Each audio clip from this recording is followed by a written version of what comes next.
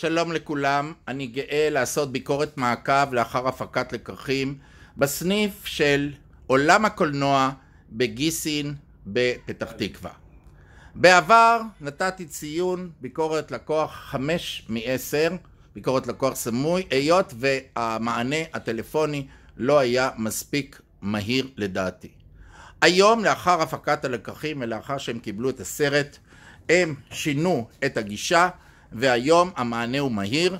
אין מה לדבר שעל המחיר של המוצרים אתם מקבלים מוצרים מדהימים במחיר סביר והם עולם הקולנוע תרתי משמע. כל מה שאתם צריכים בקשר לטלוויזיה שלכם או טלוויזיות או כל מה שאתם צריכים מערכות שמע זה המקום. ולא תאמינו אני אפילו קניתי פה מה? משהו שלא נשמע שזה קשור להם, אבל קניתי קורקינט. קורקינט נטען שאני שם אותו בבגז של האוטו הסנטה פה המדהים שלי ש...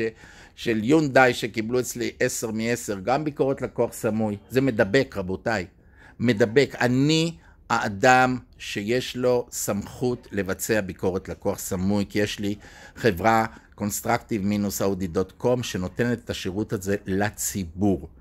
אני רק נותן ציונים מתשע ומעלה או מחמש ומטה.